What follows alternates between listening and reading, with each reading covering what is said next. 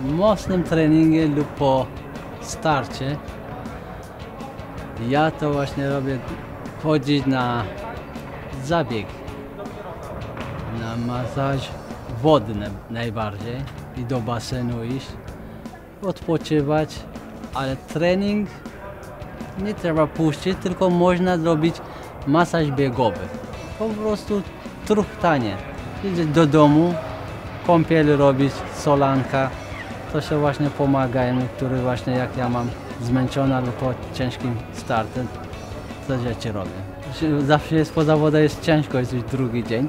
Pójść do lasu, spacer i marsz. To jest warto niż siedzieć w domu. To nie bardzo, bo to jest zakwaszone, jest mięśnie wszystko.